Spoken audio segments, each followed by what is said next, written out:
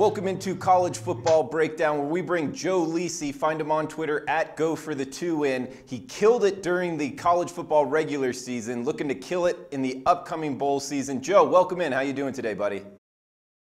Uh, this is what it's all about, Drew. 39 bowl games, two playoffs. We find out who the national champion is for 2017 in the next four weeks. Yes, we do. And, and one thing that won't decide the national championship, but it's good to bet on, fun to bet on. We got the New Orleans Bowl Saturday, 1 p.m. Eastern on ESPN. North Texas versus Troy. Looks like Troy's laying six and a half, 62 the total at five dimes, 62 and a half, pretty much everywhere else on SBR odds. How you looking to bet this Conference USA versus Sunbelt matchup, Joe? Yeah, I break this game down. It's a very intriguing battle. That Southern Miss beat uh, the Raging Cajuns last year in this ball game, 28 to 21. So I really break down the conferences here. Conference USA versus the Sun Belt, and I'm going to surprise some people. I like North Texas here. North Texas nine and four this year, and two of their losses against SMU and Iowa came in the first month of the season. The other two losses came to conference champion FAU. I think when you look at North Texas overall, they're an explosive offense that's averaging 291 passing yards per game. They're also running the football for 176 yards on the ground. But I think they have the better quarterback in this ball game, and Mason Fine. He's a quarterback that completed 64% of his passes, over 3,700 uh, passing yards, 28 touchdowns, and he has a big play wide receiver corps led by Guyton, Lawrence, and Bussey that have combined for 146 receptions and 18 touchdowns. And when you look at this North Texas team overall,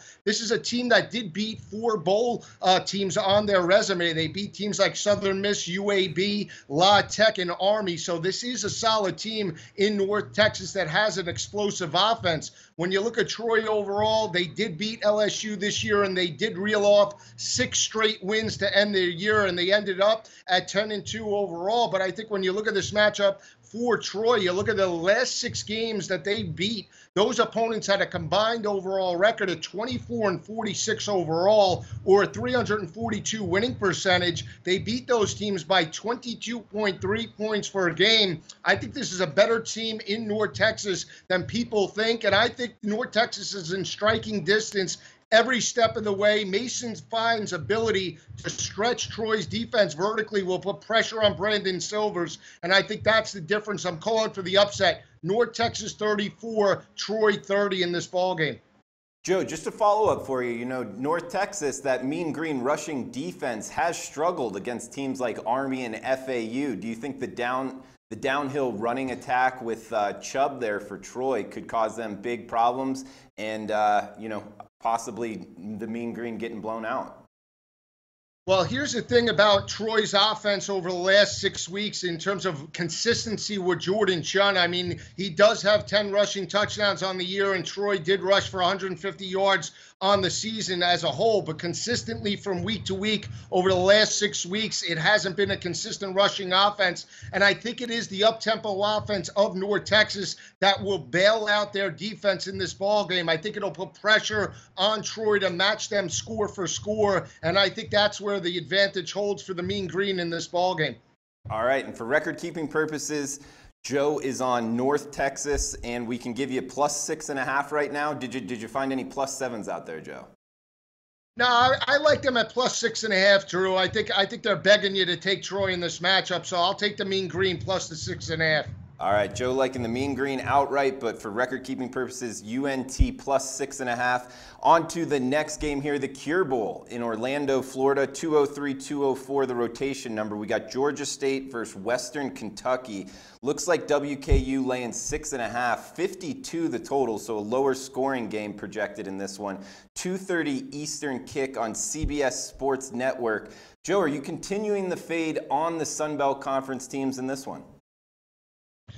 Well, yeah, I am because when you look at Georgia State overall, they're six and five heading into this ball game, and you lo- look at Western Kentucky six and six this year. Uh, not the same offense under former head coach Jeff Brohm that led this co- team to back-to-back Conference USA champions uh, championships over the last couple of years. But you look at Georgia State this year from a road perspective, this team has played very well. They're five and one on the road this year, and their only loss did come in Happy Valley to Penn State. They got blown out in that ball game 56 to nothing. But you look at those other five wins, those opponents uh, combined were 12 and 48 overall, or a 200 winning percentage. When you look at Western Kentucky, they do have the better quarterback in this matchup, Mike White, that has completed 64% of his passes, over 3,700 passing yards, 24 touchdowns. This is a one dimensional offense at Western Kentucky. They're only rushing for 66 yards on the ground, they're passing for 333 through the air. And I think that's the difference heading into this ball game.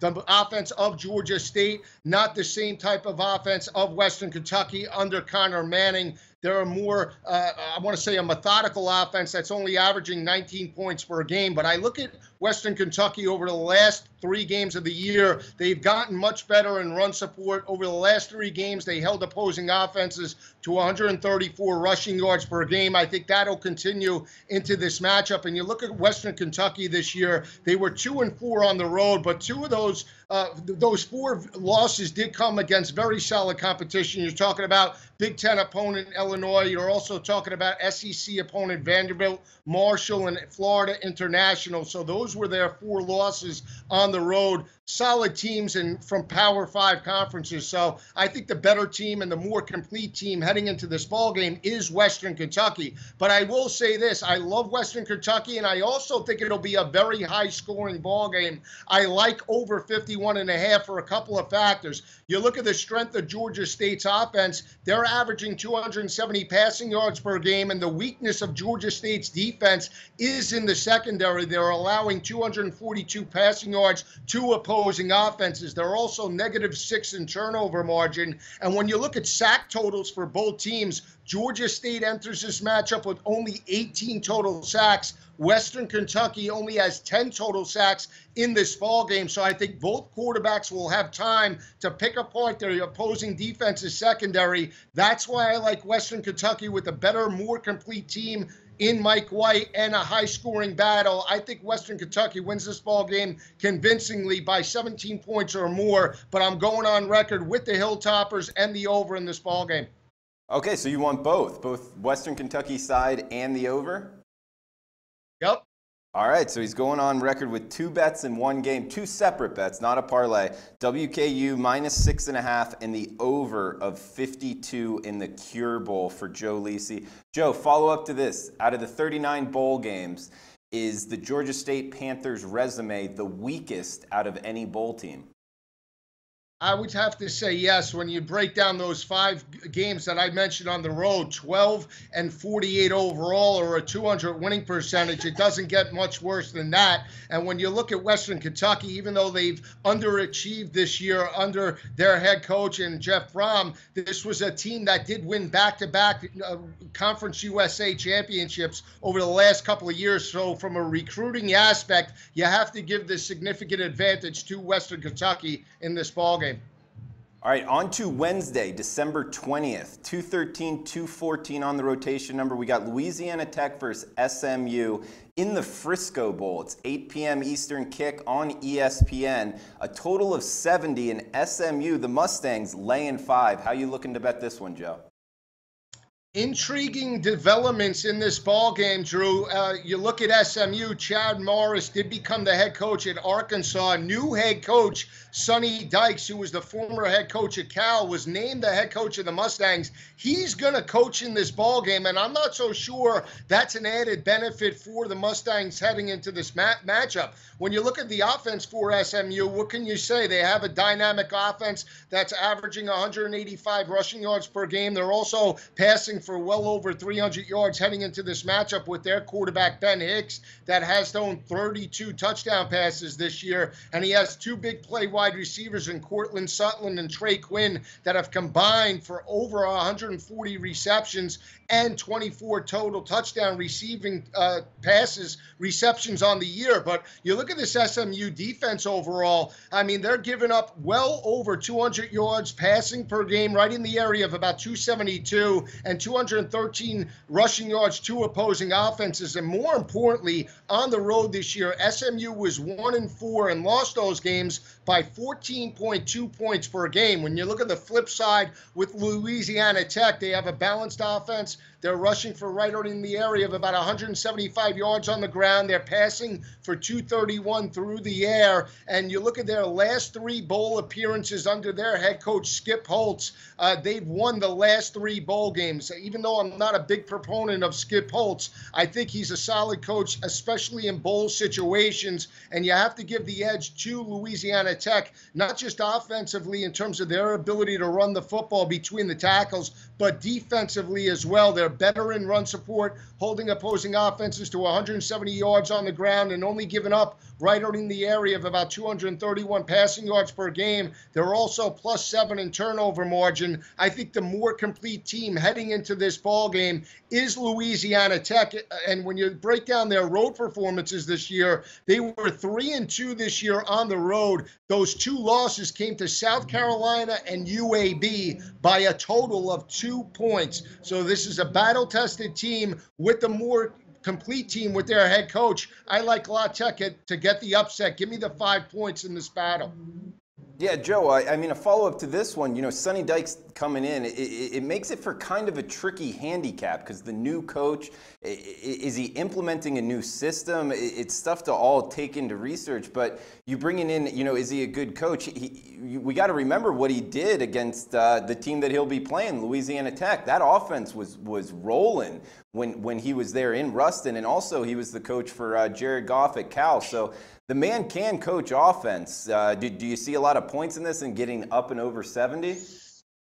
Well, here's the thing. I mean, that would be the conventional wisdom in this ball game. But the other factor that I throw away, it's not t- taken away from Sonny Dykes as a head coach because, quite honestly, I didn't think he should have been fired in California. But you you look at his mentoring of these guys. I mean, part of understanding and being a head coach is understanding how players respond in game situations and understanding the personnel and then being able to call a game plan around that personnel. And that's the one thing I think when you break this game down, even though Sonny Dykes has had great success at La Tech and California with the same type of offensive scheme, it's understanding his personnel around him and being there in such a short period of time that's why I like Skip Holtz in this type of atmosphere. I think he has the advantage over Sonny Dykes from a personnel perspective. Skip Holtz knows what he has. Sonny Dykes is going to be a feeling out process, in my opinion.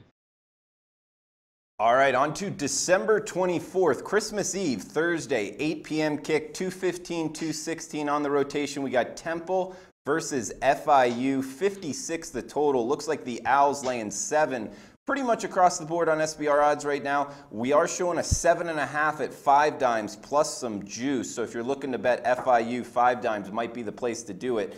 Joe, I'll tell you, this is an interesting matchup. In my favorite named bowl, we got the Bad Boy Mowers Gasparilla Bowl. How you looking to bet it?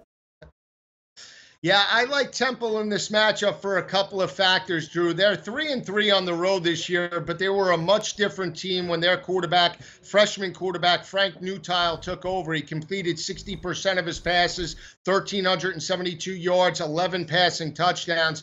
This is an offense in Temple that rushed for right in the area of about 140 yards per game and passed for 251 through the air. But over the last six games this year, they averaged 280 passing yards per game. I think from a physicality perspective, in the interior on the offense and defensive lines, Temple holds a significant advantage. Now, you can't argue with Florida International and their head coach, Butch Jones, uh, excuse me, Butch Davis, that got them back to a bowl game this year. They've over exceeded expectations. But I think a couple of factors why I like Temple as well. You look at uh, FIU in terms of run support, they're allowing 172 rushing yards to opposing offenses, and their weakness is in the secondary, giving up 245 passing yards to opposing quarterbacks. And you look at their road performances this year, they had three road losses. They lost those games very convincingly by an average margin of defeat of 23.6 points per game. When you look at Temple this year under new head coach Geoff Collins,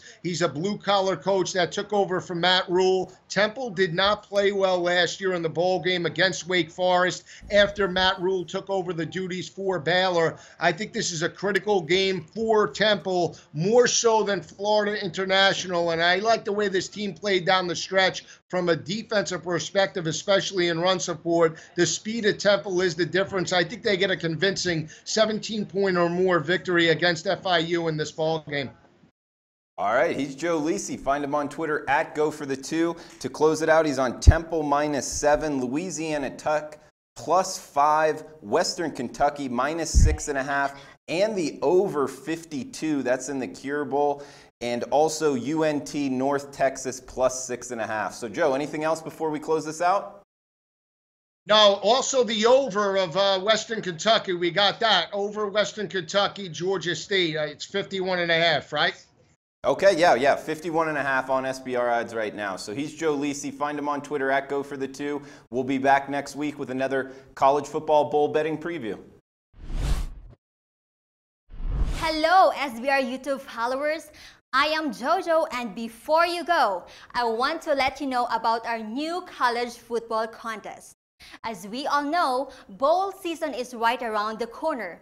And to add to that excitement, we are announcing our 15K College Bowl Handicapping Showdown. We are going to be awarding amazing prizes, and members from all over the world can join in on the fun. Join our forum, follow us on social media, and remember to share and like this video. I've been your host Jojo, and until next time, thanks for watching.